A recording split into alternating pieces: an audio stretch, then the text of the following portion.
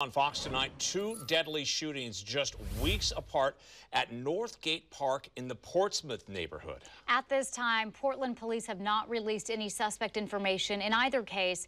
Fox 12 Chandler Watkins reports from Northgate Park. I heard three shots and a woman screaming that they shot him. I ran out and saw people standing in the street, and she was over by the fellow that was shot, and I ran over there to see if there's anything I could do, and he was gone.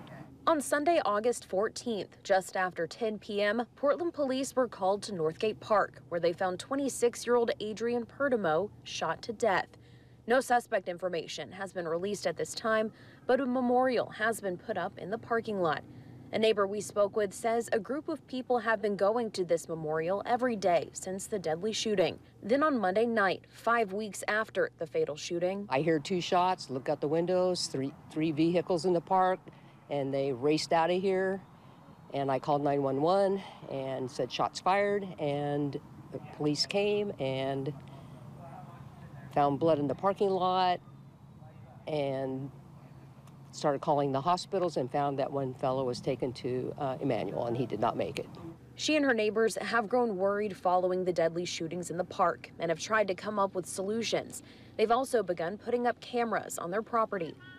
She says there is a fear a stray bullet is going to come through one of their windows one night. You know, it just doesn't stop and the police really can't do anything. They're they don't have the numbers to really respond to the issues happening in the park, and we're still trying to get.